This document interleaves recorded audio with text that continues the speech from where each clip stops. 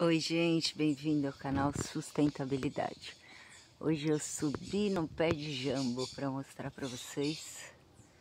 Aqui ó, super jambeiro, depois eu mostro de longe.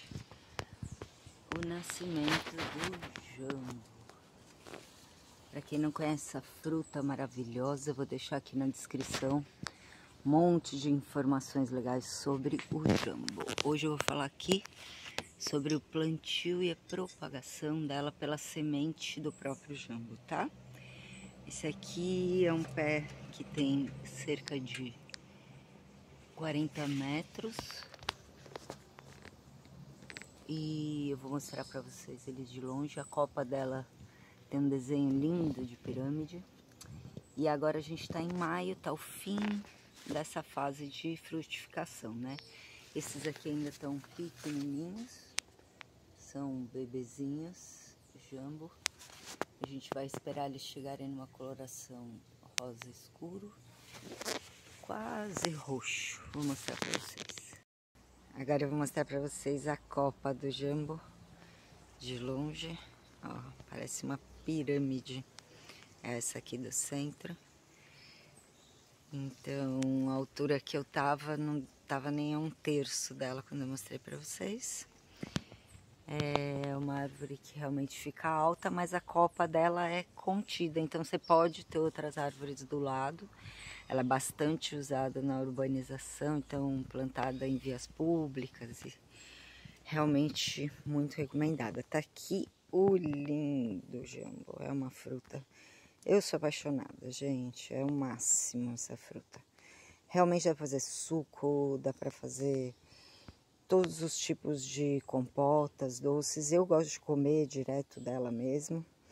E eu vou mostrar para vocês agora a semente e dar a dica o que, que a gente vai fazer para plantar essa semente, tá?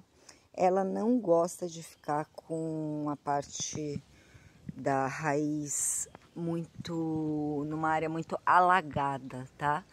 Então, seja onde você for plantar, tem que dar esse espaço, né, de copa que é mais ou menos 10 metros de distância, né? provavelmente 20 metros para cada uma, se você for plantar mais de uma. E o pé dela não pode ficar alagado, então aqui ela está numa parte mais alta do terreno, o que ajuda um pouco mais a ela não estar tá nessa área onde fica alagada. Aqui é o sudeste, né? E é uma região que chove muito, então realmente tem, tem essa preocupação porque ela não aguenta, tá? É, eu vou mostrar para vocês agora a fruta. Oh, então, continuando aqui, eu abri esse fruto. É, vou mostrar ela aqui um pouquinho por dentro. É muito linda mesmo. Ela tem uma polpa azedinha. Quanto mais madura, mais docinha, né? A casca dela é bastante pesquisada e considerada um dos grandes é, substitutos para uso cosmético por causa do pigmento da cor. Então é uma casca que solta um pigmento que consegue substituir na indústria de cosmético o pigmento que é a base de metais pesados. Então, possivelmente, com muita sorte no futuro, a gente vai ouvir falar do pigmento de jambo sendo utilizado nos produtos, nos batons, na, em toda a indústria cosmética, tomara, porque é realmente uma fonte muito melhor para nossa saúde, né? Então, vou falar aqui sobre a semente. Então, fácil de tirar, tá? Você vê que ela é um pouco sequinha, essa aqui tá quase madura, ela ainda fica um pouco mais molinha. Gruda um pouco, né, os restinhos aqui na semente, não tem problema é importante tirar porque você pode deixar, pode mofar se você deixar, né? Porque ainda sobram quando você tira, a semente ainda sobra um pouquinho. É bem facinho de tirar, tá? Não gruda. Pega a pontinha da faca que não tem corte e vai tirando.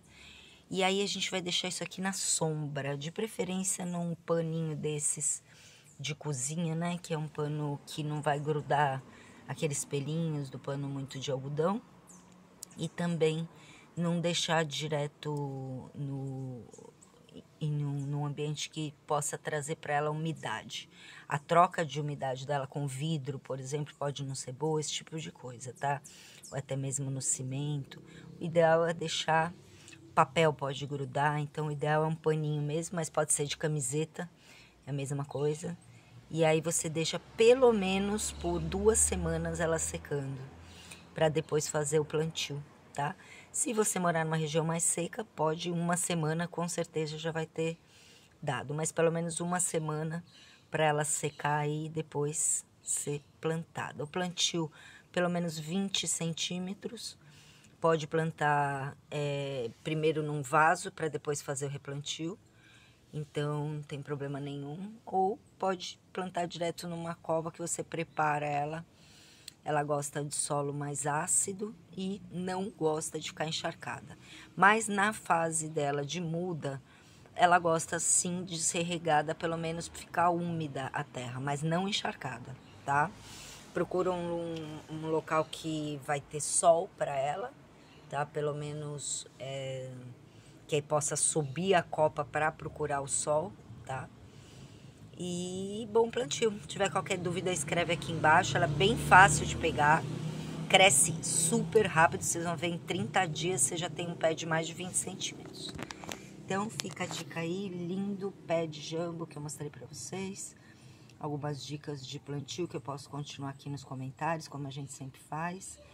É, todas as vitaminas maravilhosas que tem nela, vou deixar na descrição aqui embaixo, tá? E como a gente faz o plantio da semente, tá? Não se preocupa quando você deixar secar, uma casquinha que pode levantar, que aparece as três sementinhas de dentro, né? Não sei se dá pra ver. E você pode fazer o plantio direto. Se não puder plantar agora, só puder no ano que vem, não tem problema nenhum. A dica, deixa guardado numa caixa de fósforo, de tanto em tanto tempo você deixa ela secar para não mofar, tá? Mas sempre na sombra. É isso aí, gente. Bom plantio.